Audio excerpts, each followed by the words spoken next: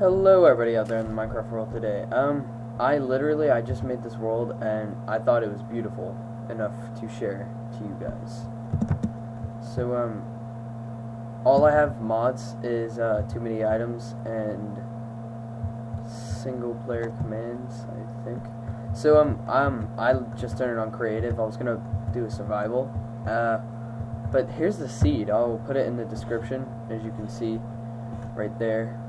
Some reason I'm lagging quite a bit. But um yeah, I'll link it in the description. And um I'm just gonna fly around a bit. I, I literally just spawned. I thought it was awesome. So as you can see.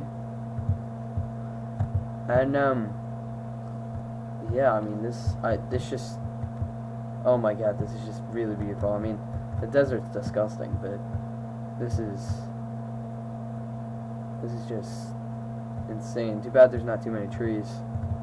Oh my god, it's like I spawned in the Aether.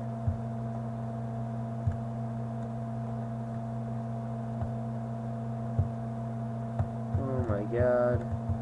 Here, I'm gonna turn off creative. So. Okay, there's a creeper. Ah, I might resize the window in a minute. Too bad I don't have a pause button on my recording. Let's gonna see here. I think it's because I have like a huge monitor or desktop or oh, desktop laptop screen. Alienware MX15, so I'm not rich, really. I mean, but oh my god, look at that. That looks so awesome. But yeah, so um, here's the seed. I will link it in the description as well. This works. The, so far, all I know is this works with uh, Minecraft 1.0. But um, refresh the world here. What? R doesn't refresh the world?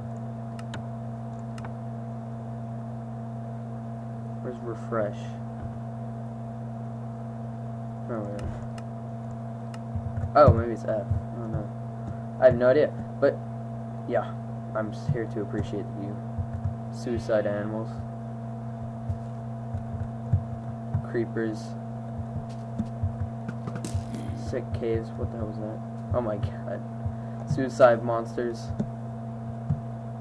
What more could you want? Thank you guys for watching. Please subscribe and have a great day.